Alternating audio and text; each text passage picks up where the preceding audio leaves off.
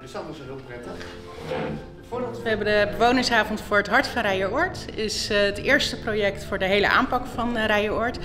En uh, we gaan hier een, een, mooie waterberging maken. Omdat we in de rest van de wijk gaan we het riool vervangen. En gaan we afkoppelen. Dat betekent dat het hemelwater in een apart rioolstelsel komt. En dat wordt dan afgevoerd op de nieuw te graven waterberging. Dat hebben we eigenlijk vanaf februari gedaan. We zijn ongeveer nu twee jaar bezig met alle voorbereidingen. en we hebben hier ook we hebben de samenwerking met het Waterschap Hollandse Delta hierin uh, ingezocht. Um, dus zij financieren ook mee en zij denken inderdaad mee en kijken mee of inderdaad de waterberging zo goed aangelegd wordt. Uh, en daarnaast hebben we heel veel met uh, de bewoners uh, samen gedaan. Mm -hmm. Er zijn verschillende werkgroepen geweest met allerlei ideeën op het gebied van speel of ook op het gebied van beplanting en dergelijke. Wat, ja, wat eigenlijk de bewoners graag willen. en dat heeft allemaal geresulteerd in een definitief ontwerp wat we vanavond gaan, gaan presenteren aan de bewoners. Dus we hopen dat ze er blij mee zijn. Dat, dat zien jullie hier. Uh, als we zo, uh, waar jullie je vragen kunnen stellen, in de andere zaal is dat, hiernaast, hebben we inderdaad ook de tekeningen liggen waar het op staat, dat jullie het inderdaad nog ook goed, goed kunnen zien. vaak hoor je van mensen van, ja, wat maakt het uit of ik dan mijn tuintje in de stenen leg? Wat maakt het uit een kleine stukje?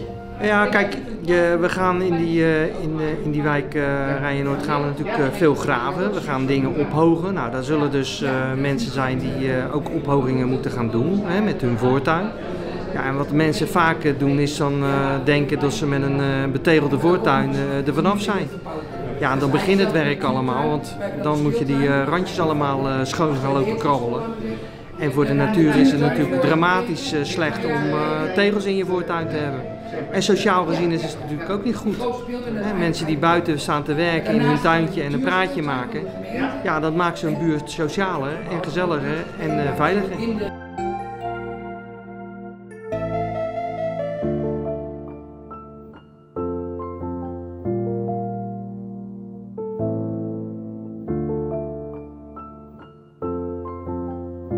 Wij gaan de plannen presenteren en we gaan een eerste inkijk geven in de planning en fasering.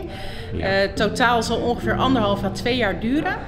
Uh, en dan, uh, dan moet het geheel klaar zijn. En dat, dat gaan we ze nu inderdaad kenbaar maken wat dat allemaal gaat worden.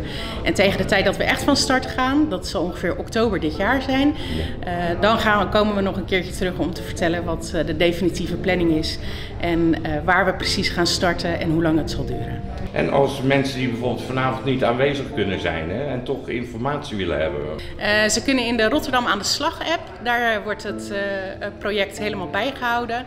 Uh, daarnaast hebben we een omgevingsmanager, Bartjan de Haas. En die zal ook tegen die tijd een spreekuur gaan houden als we gaan starten met, met de uitvoering. En daar wordt iedereen van op de hoogte gesteld middels de nieuwsbrief die huis aan huis bezorgd gaat worden.